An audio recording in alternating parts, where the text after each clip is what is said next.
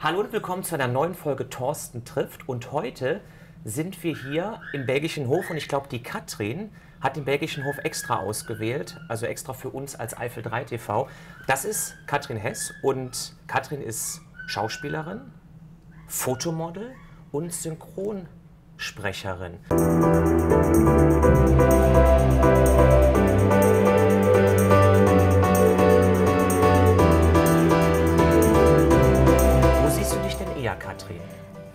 also am wenigsten sehe ich mich auf jeden Fall beim Fotomodel.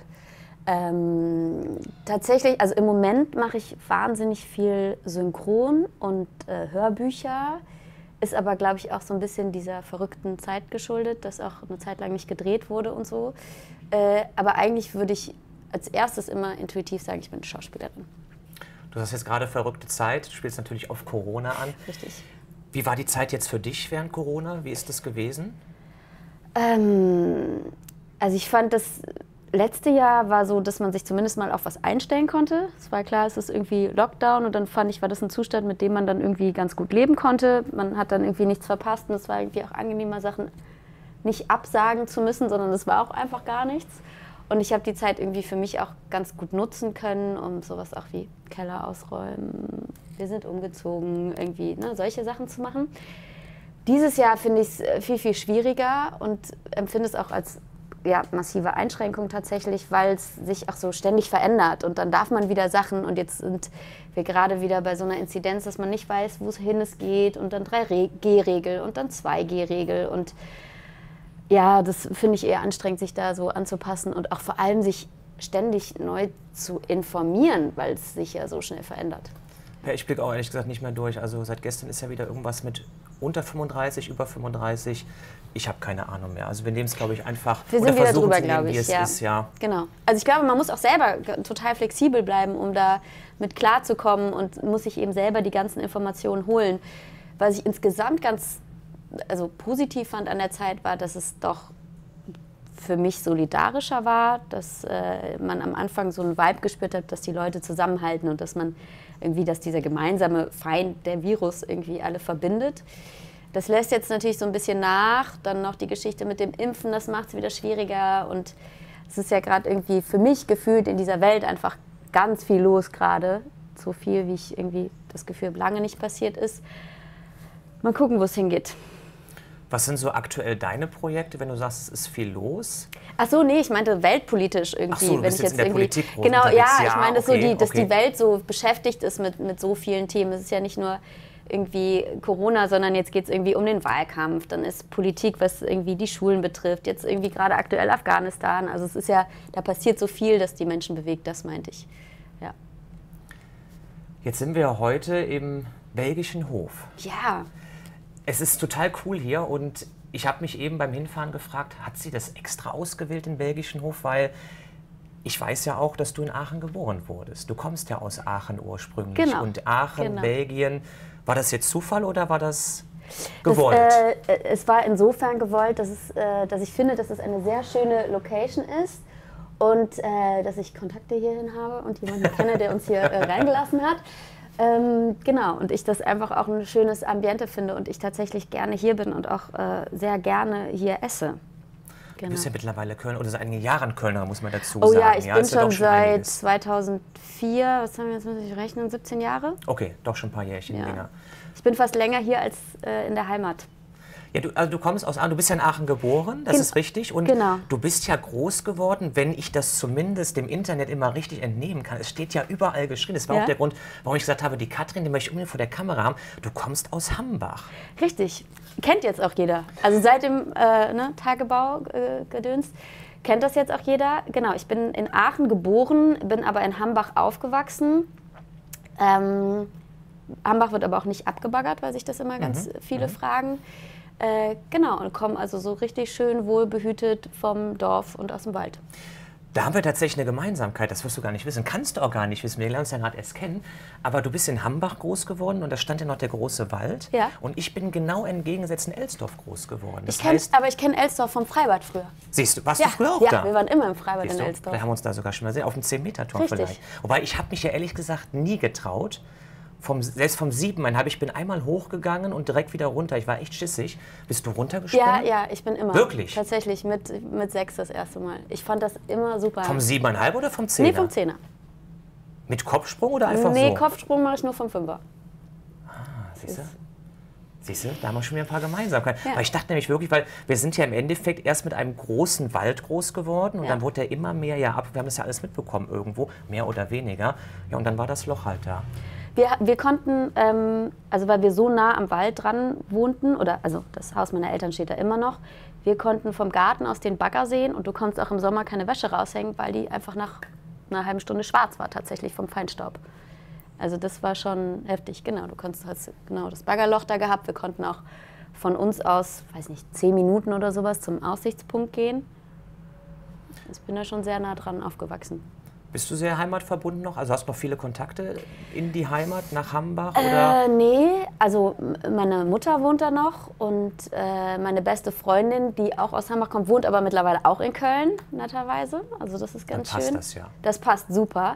Äh, genau, also dadurch ist die Verbindung quasi nach Köln gekommen. Aber ich habe jetzt da keine Freunde mehr, weil tatsächlich zum Studieren alle entweder dann nach Aachen gegangen sind zum Medizinstudium oder die anderen sind dann nach Köln gekommen.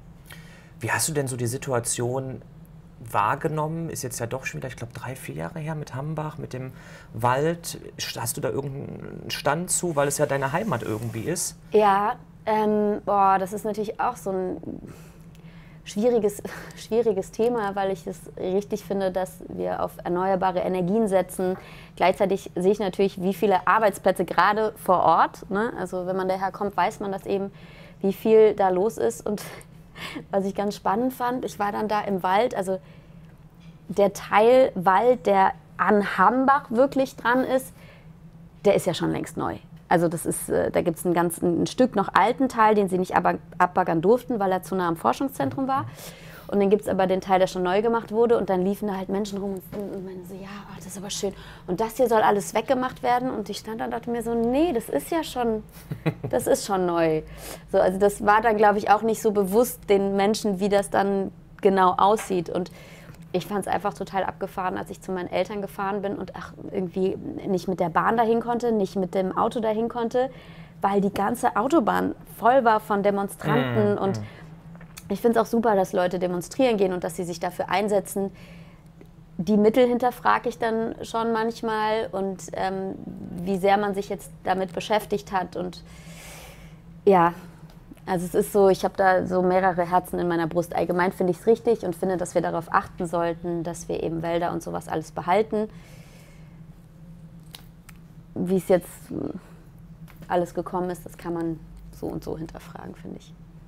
Du bist ja sehr naturverbunden, sagst du. Ja. Ja, gehst gerne raus. Ja. Äh, wie sieht es mit der Eifel aus? Ich meine, Hambach ist ja quasi, naja, ich muss aufpassen. Manche jetzt- sagen Voreifel, ja, die ja haben ganz, da nicht so ganz Ahnung. knapp vor Eifel, ne? aber nein. Ähm, fährst du gern noch in die Eifel? Hast du da so Orte, die du, äh, vielleicht unbekannte Orte, die wir noch gar nicht kennen? Nee, tatsächlich ähm, bin ich, früher waren wir sehr viel in der Eifel. Äh, ich habe auch eine Freundin in der Eifel wohnen, mit der ich hier in Köln auf der Schauspielschule war. Aber leider ist wirklich, obwohl es so nah ist, ist es der Zeit geschuldet, dass ich sehr, sehr wenig da bin. So, also auch wenn ich sage, ich gehe gern in die Natur, ist es oft wirklich dann bei meinen Eltern, dass ich da spazieren gehe, irgendwie im Wald oder so. Aber ich habe die letzten Jahre auch einfach so viel gedreht und war dann auch, weiß nicht, wir waren mit Cobra, dann waren wir in Budapest, dann habe ich in Schweden gedreht, dann habe ich in Österreich gearbeitet und war irgendwie so viel unterwegs und teilweise auch einfach sechs Wochen am Stück weg, dass ich froh war, wenn ich dann in Köln war und hier irgendwie meine sozialen Kontakte äh, aufrechterhalten konnte. Aber vielleicht findet sich ja bald Zeit dafür, dass du nochmal in die Eifel kommst. Ja, jetzt gerade muss Ruhe. da auf, aufgearbeitet werden erstmal. Ne? Jetzt muss ich erstmal einiges aufgaben, das ist schon richtig. Ich glaube, einige hat es wirklich sehr hart getroffen, Ja, das ist schon ja. richtig. Ja, aber ich glaube, umso mehr ist wichtiger, dass die Leute jetzt trotzdem zu uns kommen in die Eifel und da auch einfach uns unterstützen, mit dabei sind. Also komm gerne vorbei. Das ist eine Einladung. Das ist eine Einladung. Sehr gerne. ähm, du hast in Köln Schauspiel studiert, sagt man das? Gelernt? Ähm, wie, ich- wie nennt man das? Also es gibt es sowohl als Studium als auch als Ausbildung, wenn du es an einer Uni machst. Es ist ein Studium, ich habe es an einer Privatschule gemacht und dann ist es eine Ausbildung. Bisschen kompliziert. Stimmt, aber du hast das ja über Umwege, weil du warst ja erst, wenn ich das richtig verstanden habe, ähm, Logo, oder du bist Logopädin. Nee, aber es war andersrum. Es war doch andersrum. Genau. Jetzt, also ich jetzt habe mich auf. ich hab, äh, Abi gemacht und äh, es war klar, ich gehe Medizin studieren. Ich hatte in Aachen wieder einen Medizinstudienplatz, ich hatte eine Wohnung, also es war alles total sicher. Und dann bin ich aber nach Köln zu einer Schauspielschule gefahren und habe da eine Aufnahmeprüfung gemacht. Also das war ein Workshop, drei Tage, so ein Seminar. Und ich habe gesagt, ja, ich mache das mal, weil ich das immer interessant fand und auch immer in der Schulzeit und auch übers Tanzen und so gespielt habe, Musical gemacht habe. Und dann haben die mich aufgenommen. Und dann kamen meine Eltern aus dem Urlaub wieder und ich war so, ha, Überraschung, ich habe es mir anders überlegt, ich gehe doch nicht nach Aachen, ich werde zur Schauspielschule gehen. Und dann habe ich tatsächlich die Schauspielausbildung gemacht, habe danach auch bei Verbotene Liebe damals fest im Hauptcast gedreht und hatte dann danach so ein Jahr, wo ich wenig gedreht habe und dachte, okay, das ist, ich muss auch irgendwie ja leben können. Und wie mache ich das jetzt alles finanziell? Und ähm, ich will nicht so sehr in dieser Abhängigkeit stehen von Regisseuren, Castern und so weiter. Ähm, und habe dann mich auf das Studium Sprachtherapie beworben, habe diesen Studienplatz auch bekommen und habe in einem Atemzug, also wirklich in derselben Woche, dann aber auch die Zusage für Cobra 11 gekriegt, für eine durchgehende Rolle. Und habe gesagt, ich werde es aber beides versuchen, das irgendwie hinzukriegen, dass ich einfach einen Plan B habe, sollte das irgendwann mal mit dem Drehen nicht mehr so funktionieren. Und habe dann parallel zu Cobra Dreharbeiten äh, Sprachtherapie studiert und habe dann auch im Wohnwagen während der Drehpausen meine Seminararbeiten geschrieben und Hausarbeiten und gelernt und genau, habe das dann auch abgeschlossen.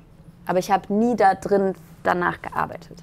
Könntest du dir aber dann vorstellen, also wenn jetzt mal wirklich Worst Case, keine Schauspielerei mehr, in dem Beruf auch dann zu arbeiten? Also ist das was, wo du sagst, da, ähm, ja, können man schon hin ausweichen oder ist das eher so, wie du eben selbst gesagt hast, auf die Schauspielschule gegangen, wahrscheinlich deine Eltern? Wie haben die eigentlich reagiert darauf? Das ist ja auch immer so eine Sache. Ja, äh, meine, meine Mutter hat das, mein Vater hat direkt gesagt, findet er große Scheiße. Äh, und meine Mutter hat das ganz geschickt gemacht. Die hat immer gesagt, ja, du musst ja glücklich werden und alles, was du möchtest, das unterstützen wir natürlich auch. Und ich habe Jahre später habe ich erfahren, dass sie das auch große Scheiße fand, dass sie das aber nicht gesagt hat, weil sie wusste, wenn sie sagt, mach es nicht, dass ich es dann erst recht mache. Und so hat sie gehofft, dass ich von selber aufgebe. Also Hast du aber nicht gemacht. habe ich nicht gemacht. Sie hat sich auch, die hat immer gedacht, oh Gott, und als Schauspieler brotlose Kunst und äh, ist jetzt, glaube ich, umso erleichterter, dass es, dass es doch ganz gut gelaufen ist. Hat sich aber trotzdem sehr darüber gefreut, dass ich noch was studiert habe. Einfach zur Sicherheit. Aber hat man denn so einen Wunsch? Jetzt muss man wirklich überlegen, ich meine, ich kenne es ja selber, man kommt vom Dorf irgendwo, ne? wohl behütet. Hat man denn schon als Kind den Wunsch, hast du den Wunsch schon gehabt, Schauspielerin zu werden? War das schon irgendwas, wo du sagst, so im Nachhinein, ja, die, das Springen vom 10-Meter-Tor mit sechs Jahren war schon, Das war mein Proben für Cobra 11, glaube ich.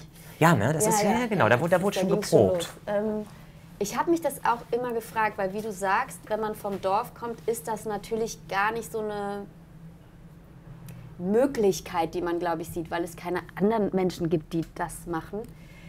Ich habe auf jeden Fall immer, muss ich sagen, den Mittelpunkt gesucht. Also wenn wir Kindergottesdienst hatten auf dem Dorf und der Mensch, der dann nicht der Pfarrer war, sondern der, der dann diesen Gottesdienst geleitet hat und mit dem Mikro rumging und man hat diese Lieder gesungen, hat man mir erzählt, habe ich dieses Mikro genommen, bin nach vorne gegangen vor den Altar und habe vor allen Menschen gesungen oder wollte auch bei Rolf Zukowski mitsingen. Ich war aber, also ich habe meine Mutter dann genötigt, mich da anzumelden. Ich war aber zu jung, ich war erst fünf, durfte also noch nicht. Dann wollte ich bei der Augsburger Puppenkiste, die wurde damals 25 oder 30. Dann haben die im Fernsehen aufgerufen zu Kindern, die aus dieser Kiste springen zum Geburtstag. Auch da habe ich meine Mutter genötigt, einen Brief hinzuschreiben an den WDR für mich, dass ich da rausspringen darf. Ich war leider das einzige Kind, das sich da angemeldet hatte, also kam das auch nicht zustande. Also ich habe es aber schon irgendwie gesucht. So. Das war also schon sehr früh da. Aber diese Idee, dass das ein Beruf sein könnte, das kam erst so mit 14, 15, 16, weil auch in dem Ferienprogramm in der Werkwoche in der Bleiberger Fabrik in Aachen, Mhm, wo ich mhm. regelmäßig war, die Jasmin Schwiers, Mhm, äh, mhm. die Schauspielerin, eine großartige Kollegin. Die Jasmin kenne ich aus dieser Ferienzeit noch, also die habe ich mit sechs kennengelernt und die hat damals bei Ritas Welt mitgespielt. Die war da okay. 17, ich bin ja jünger als Jasmin und da, oder zwei, und da dachte ich, ah okay, das ist also ein Beruf, man kann das so machen. Und dann kam eben auch die Idee, so, okay, Schauspielschule, habe ich mich informiert in diesem dicken, es gab ja diesen Studienführer damals, den Grünen, und dann habe ich dann nachgelesen, okay, wie wird man denn Schauspielerin? Ah, okay, man kann das studieren. So, und habe mich dann so angenähert, diesem Beruf Schauspielerei. Und als Kind, können wir nochmal gerade, das ist ganz, ganz spannend, wie du so erzählst, finde ich total cool. Ähm, jetzt hast du Sprachen studiert, du bist jetzt Schauspielerin. War es denn, was war denn als Kind dein Wunsch, beruflich zu machen? Ich wollte Tierärztin werden. Ah, okay. Ähm, ich habe auch mal eine Maus mit der Nagelschnere aufgeschnitten, weil ich dachte, da können wir ja mal reingucken. Also sie war tot, sie war tot. oh Gott, sie war tot an alle, sie war vorher tot. an alle Tierschützer, sie war tot. Genau. ähm, genau, also ich wollte Tierärztin werden. Dann wollte ich später aber dann richtige, richtige also Humanmedizinerin werden. Ähm, und habe aber immer, ich habe immer irgendwie gespielt als Kind. Ich habe auch Bibi Blocksberg gehört und fand es ganz toll, so Geschichten zu erzählen und vorzulesen und wusste, oh, ich würde so gerne mal Hörspiel machen. Dass auch Sprechen nochmal ein eigener Beruf ist, das habe ich noch nicht mal vor der Schauspielschule verstanden, sondern das kam auch erst währenddessen, dass mich ein Dozent mitgenommen hat äh, nach Kars zu einem Synchronjob und meinte, hier, dann kannst du mal gucken, was man mit der Stimme alles machen kann. Dann meinen die, ach, jetzt bist du gerade da, machen wir mal ein Casting. Und dann hat das funktioniert und ich habe irgendwie meine erste Rolle in einer Serie gesprochen. Eine Hauptrolle war das damals sogar. Und so bin ich überhaupt erst ans Sprechen gekommen und Hörspiele und Hörbücher. Also ich habe da wahnsinnig viel Glück auch gehabt und Förderer, die mich dann so dahin begleitet haben zu dem, was ich als Kind irgendwie toll fand, aber meine Eltern natürlich auch nicht wussten, wie, wie wird man denn Schauspielerin und wie ernst ist das zu nehmen.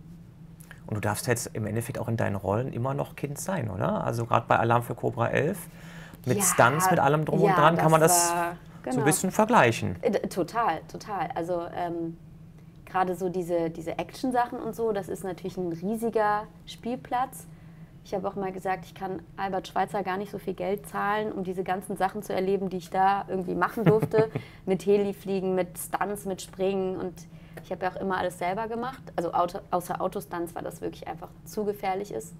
Ähm, und sowas habe ich halt als Kind auch gemacht. Also ich habe hier eine Narbe, ich bin hier genäht worden, ich habe irgendwie hier das Handgelenk gebrochen gehabt, weil ich auch immer gern so Action-Sachen gemacht habe. Action-Sachen auf dem Dorf. Ja, Ja, ja, so muss man es ja sagen. So ne? sagen, So waren ja. wir drauf für Dorfkinder. Man darf ja, heute sagt man, glaube ich, Dorfkinder. Ne? Das ist ja, man darf ja stolz darauf sein, wenn man auf dem Dorf groß geworden ist. Äh, Bin ich auch. Also ich Ja. finde, das ist, äh, das ist was anderes als hier in der Stadt. Also ich bin halt nicht mit der U-Bahn zur Schule gefahren. Ich bin zwei Häuser weiter gegangen. der gleichen Straße. Ich kenne es, So. ich kenne es. Genau, man ist halt wohlbehütet aufgewachsen. Ich kenne das auch so, dass irgendwie nachmittags um zwei gesagt wurde, so jetzt geht mal vor die Tür, wird wohl irgendwer auf der Straße zum Spielen sein und um, abends um sieben war man einfach wieder da und es war klar, du bist einfach den ganzen Tag unterwegs und nur draußen. Das hat sich ein bisschen verändert. Das ist, glaube ich, auch auf dem Dorf heute alles ein bisschen anders. Aber Ja? ja, ich glaube schon, Okay. was man so hört. Aber es kann auch nur vom Hören sagen so sein. Okay. Aber es gab natürlich auch immer die Leute, die dann, also die Jugend, die an der Bushaltestelle saß, ne? Und da Sind halt das, geraucht hat. sind das etwa die, die auch ähm, auf den Autoscooter gehen und da stehen, auf der, auf der Dorfkirmes? Wir hatten Hattet ihr. Dorfkirmes? Ja, wir, ja, also meine Großeltern haben das Kirmes genannt, aber das, da war ja keine Bude oder sowas. Wir hatten das Schützenfest und dann, Ah, wenn du Glück hattest, war dann da einmal im Jahr ein Autoscooter.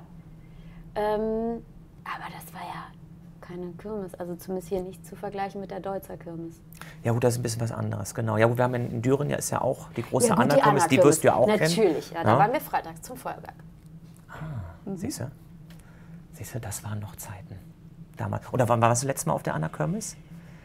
Kannst du überhaupt noch so ganz normal auf so äh, Feste, auf Kirmes gehen, ohne dass du Angst haben musst, da Also in, ja, in Köln, Erkannt auf, zu in werden Köln oder so? auf jeden Fall. Ja. Ja. ja, in Köln schon. Ja. Auf der Anna-Kirmes war ich tatsächlich das letzte Mal mit 15, glaube ich. Ja, da wird's ja mal wieder das Zeit. Wird, würde wirklich Zeit werden. Ähm, da war ich ewig nicht, ich weiß nicht, wie es da wäre. Aber ich werde auch tatsächlich relativ wenig angesprochen. So oft ist das nur so, ah, hast du die gesehen? Guck mal da vorne. Ist, sie, ist sie es überhaupt? Ich glaube, das ist sie nicht. Und die denken dann auch immer, dass man das nicht mitkriegt, dass sie es Und dann bist du schon weg. Und dann bist du schon weg, ja, wenn dann sie ist man auch meistens schon weitergegangen. Ja. Das wäre uns mal eine coole Idee. Wir begleiten, wir gehen mal zusammen auf die Anna-Kirmes in Düren nächstes Jahr, wenn die wieder ist. Und dann machen wir so die wildesten Sachen, weil ich muss gestehen, äh, ich bin echt so ein Schisser, was Ich so. wollte gerade sagen, wenn du nicht vom 57er springst, aber, du, aber, aber Nee. Autoscooter draußen. Doch, Autoscooter haben wir tatsächlich. Wir haben auf der Anna-Kirmes, wer sich noch erinnern kann, wir haben gedreht, weil da habe ich Heintje getroffen.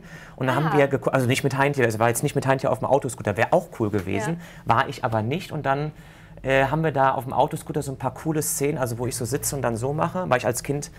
Also du tust aber nur so, als ob, weil du dich nicht traust, oder wie? Nee, ich war als Kind so, so Autoscooter war nicht so, ich war eher so, Raupe auch nicht.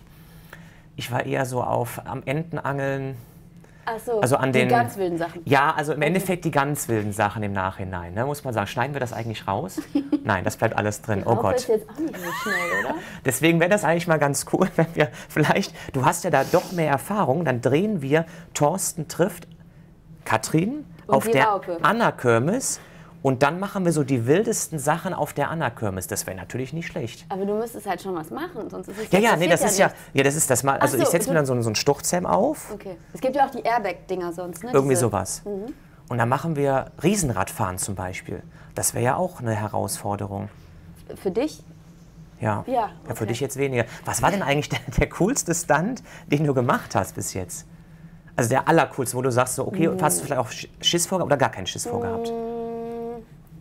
Nee, ich hatte tatsächlich nie wirklich Angst, weil du ja auch immer gesichert bist und weil ich die Stunt-Leute so gut kannte dann auch und da so ein Vertrauen herrschte.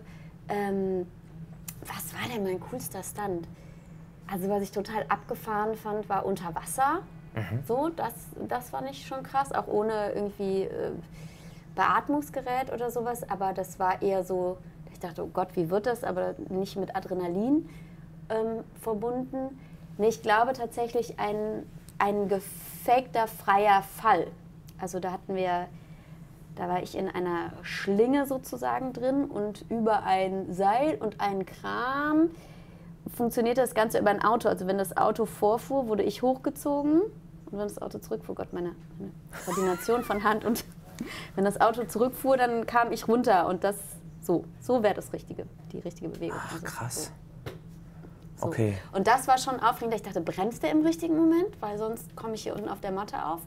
Das war, das war ziemlich abgefahren.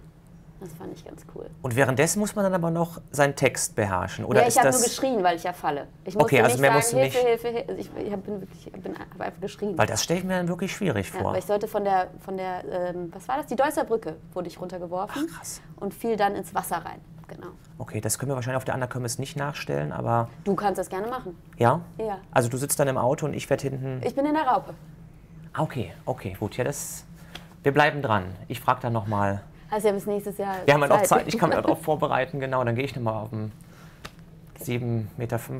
In Elsdorf. Oh Gott. Nein, ich kriege jetzt wieder Panik, wenn ich das höre. Aber gut, wenn wir, machen wir weiter. Wenn, ähm, wenn du dir jetzt eine Rolle wünschen dürftest, so in Zukunft, wo sagst du, was würdest du gerne mal spielen? So dein, dein größter Wunsch. Ja, ja da gibt es verschiedene Sachen, weil ich, also, was ich als Genre total gerne mal machen würde, wäre was Historisches.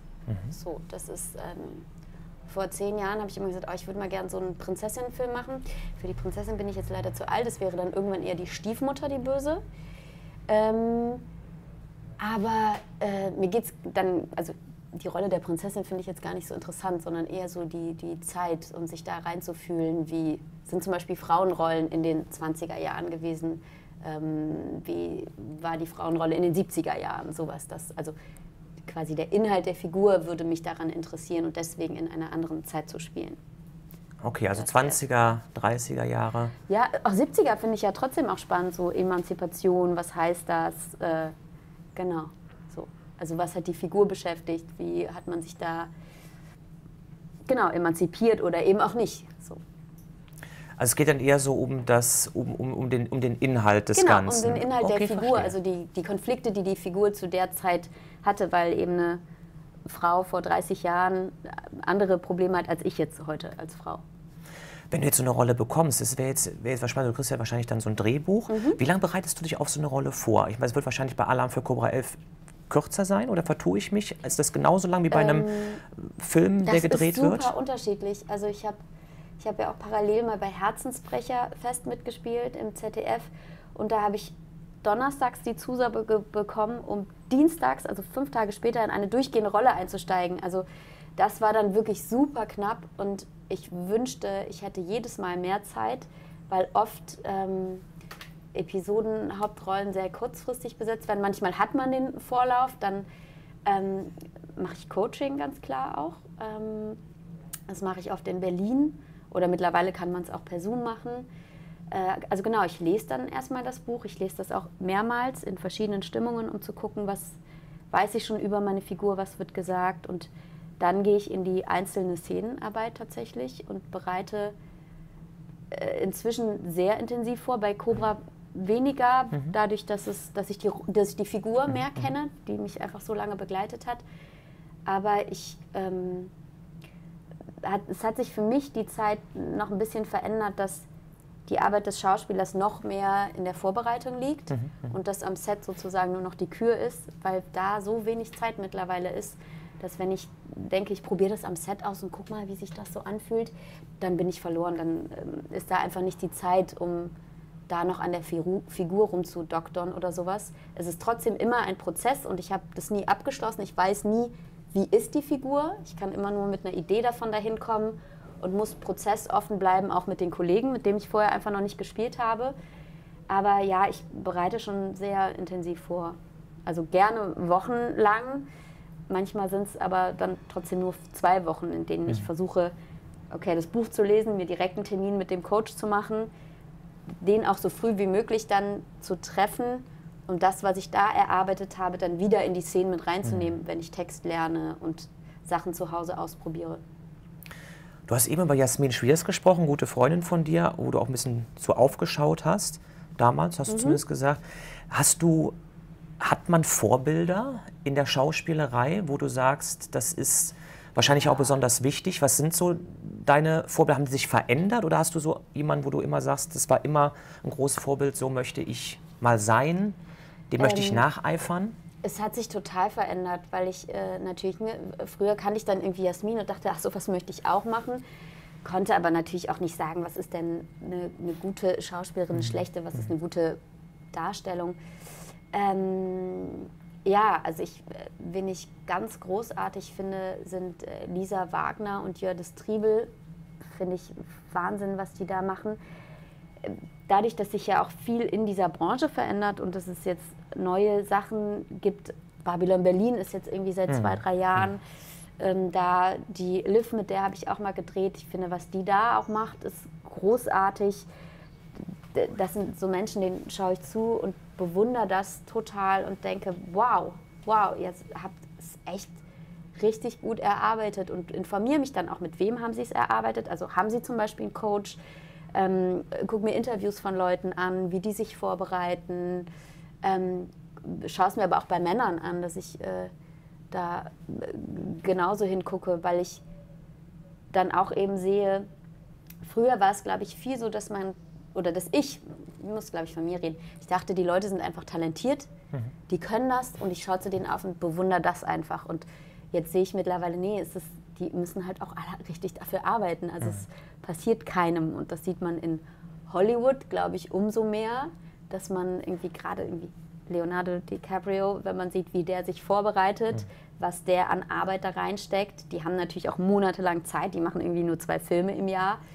Oder Daniel Day-Lewis sagt, ich mache nur einen Film, weil ich brauche die Zeit, um mich vorzubereiten. Dann sieht man eben, dass es eine fucking Arbeit ist und dass es ein Handwerk ist und dass da nichts dem Zufall überlassen wird, sondern dass das genauestens geplant ist und dass die wissen, wann sie ihre Hand heben und wann sie das Glas abstellen. So, und das, das hat sich verändert, dass ich eben auch mehr in diesen Prozess von Arbeiten gehe und weniger in den Prozess von, man kann das einfach oder man kann es nicht. So. Also Vorbereitung spielt die wichtigste Rolle. Absolut, um für mich total, ja.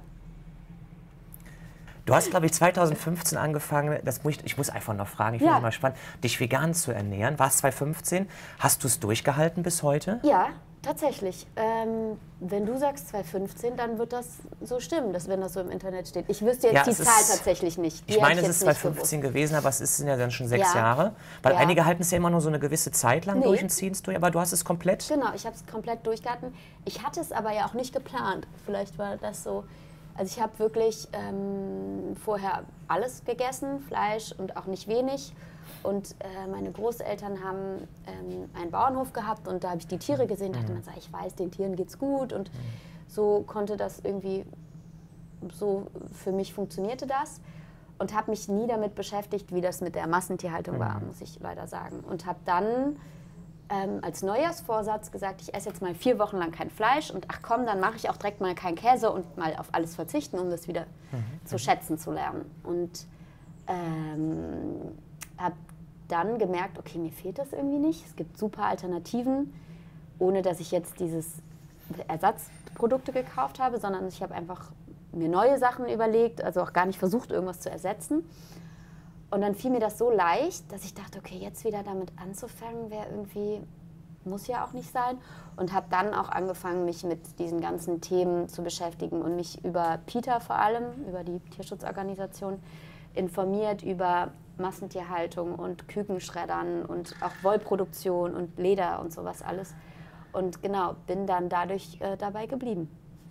Das heißt, ich höre jetzt auch raus, du bist ein bisschen da auch Botschafterin für. Also wirbst du dafür, dass einfach nur, dass du sagst, ich, ich ernähre mich vegan und ich, Ach, weil, ich, weil ich es gut finde? Ja, ich habe, glaube ich, auch so die Phasen, durch die alle Veganer durchhaben von missionieren wollen, weil man gerade das Gefühl hat, oh Gott, jetzt habe ich es verstanden und ich würde mir wünschen, ihr seht es auch alle so wie ich, hinzu, ähm, ich mache es einfach so für mich, wie ich das denke und ich habe auch 30 Jahre, also deswegen wird es wahrscheinlich wirklich 2015 gewesen sein, 30 Jahre mich nicht vegan ernährt und die Leute werden auch alle ihre Zeit haben.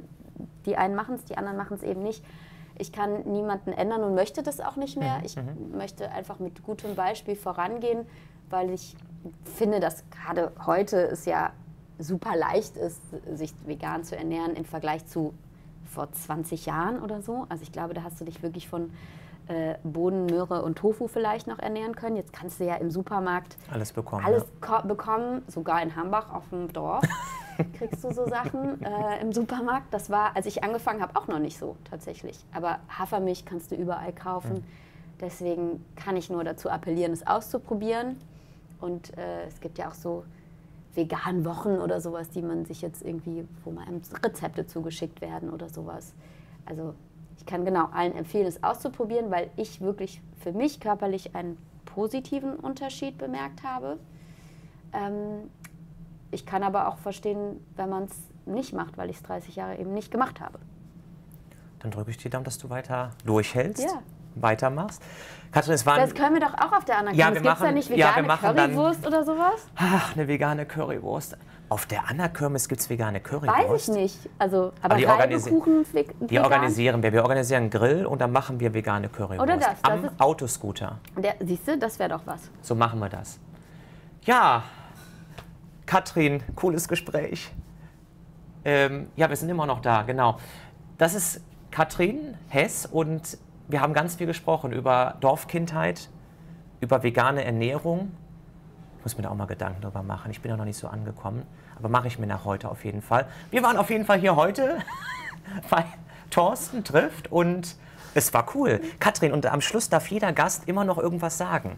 Und wenn du magst, darfst du jetzt gar noch irgendwas erzählen in die Kamera. Also wo du aber Lust zu hast. Du dürftest so. jemanden grüßen, also zum Beispiel nach Hambach. Du könntest, weiß ich nicht, irgendwas noch erzählen. Dein Herzenswunsch etwas ganz Tolles? Ich wünsche mir Weltfrieden. Das ist auch nicht schlecht. Tatsächlich, das, das würde ich mir sehr wünschen. Das klingt jetzt so abgedroschen, aber das würde ich mir wirklich gerade in dieser Zeit im Moment ah, wünsche ich mir, dass äh, ein bisschen Ruhe einkehrt. Dann wünschen wir uns das alle.